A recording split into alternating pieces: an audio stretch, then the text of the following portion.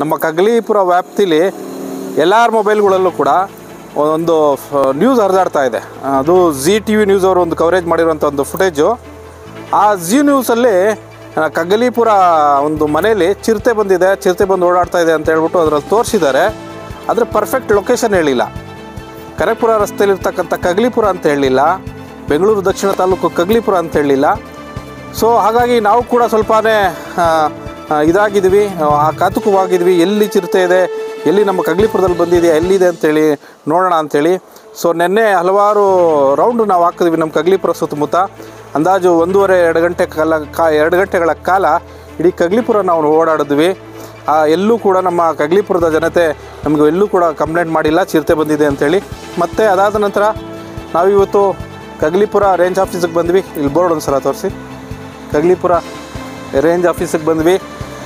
So ಅವರು ಕೂಡ ಹೇಳ್ತಾ ಇದ್ದಾರೆ ನಮಗೂ ಕೂಡ ಚಿರತೆ ಇರೋ ಬಗ್ಗೆ ಯಾವುದೇ ರೀತಿಯ ಮಾಹಿತಿ ಇಲ್ಲ.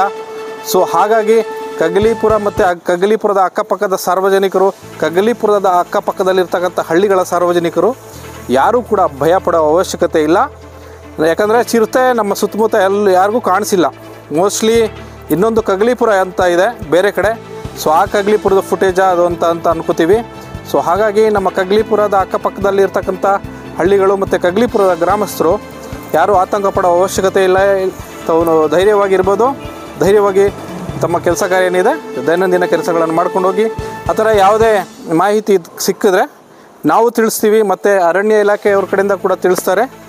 ಸದ್ಯಕ್ಕೆ ಈಗ ಸದ್ಯಕ್ಕೆ ಪರಿಸ್ಥಿತಿಯಲ್ಲಿ ಯಾವುದೇ ರೀತಿಯ ಚಿರತೆಯ ಆತಂಕ ನಮ್ಮ ಕಗಲೀಪುರ ಗ್ರಾಮದಲ್ಲಿ ಇಲ್ಲ. ಸೊ ಹಾಗಾಗಿ ಎಲ್ಲರೂ ಧೈರ್ಯವಾಗಿರಿ.